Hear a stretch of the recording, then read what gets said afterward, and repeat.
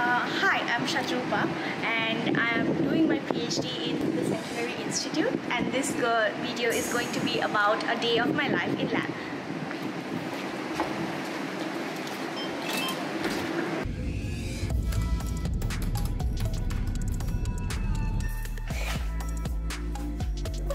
Okay, go. So then we have to uh, turn on the computer.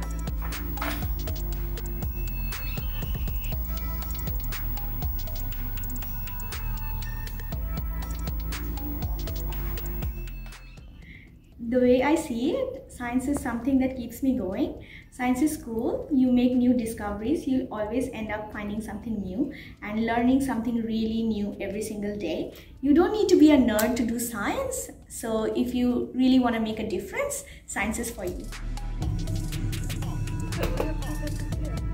I don't know what.